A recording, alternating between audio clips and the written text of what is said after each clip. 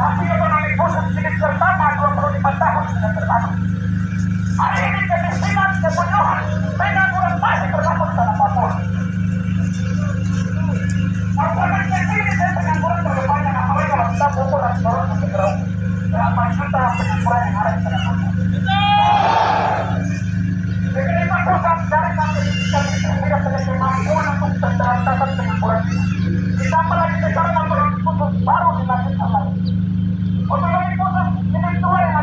heart.